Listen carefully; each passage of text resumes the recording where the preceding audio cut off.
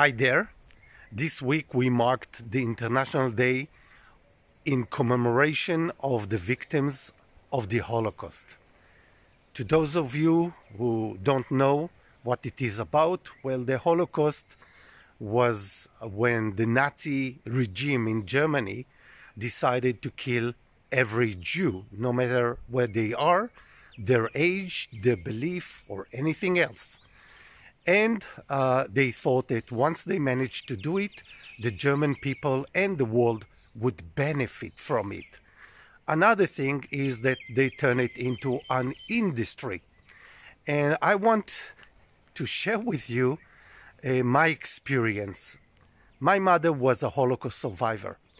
In my kibbutz, where I was born, we had people who walked with a number on their hands. Just like cows have numbers, they had a number on their hands.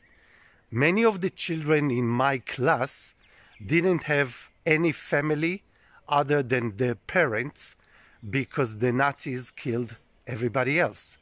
In my family, uh, the Nazis killed most of the family of my mother.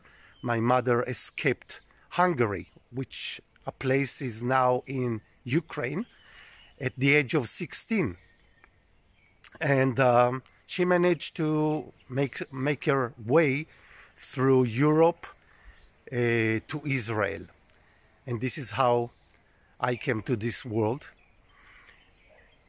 But I want to share with you two lessons that I'm taking from her. And she's my hero. The first one is that never in my life did I hear her or anyone else from the Holocaust survivors of my kibbutz uh, saying anything bad about Germans. Of course, Nazis is different, not about Germans. We didn't grow to hate Germans. In fact, we had Germans volunteer coming and being at the kibbutz. I worked with them. My parents worked with them. So we were taught about love, to love others, not to hate others. This is one very important lesson that I'm taking.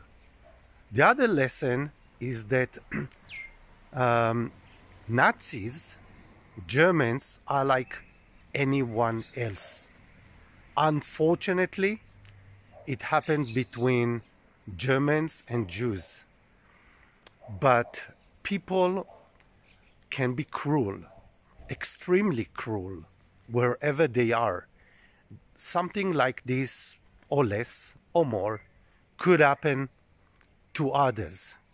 So, although Holocaust was an extreme event in the history of humans, we should not say this is only Germans, this is only Nazis, or some other nation. We are all human, and therefore, something like this could happen to anyone, anywhere, if we are not careful. And this is what we should keep in mind. The human beast, if we let it loose, if we don't control it, terrible things could happen. But if we do control it, we can make magic, we can make great things happen.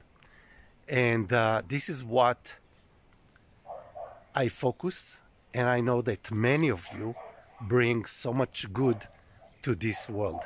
Let's keep it up this way while remembering the other option. Bye bye.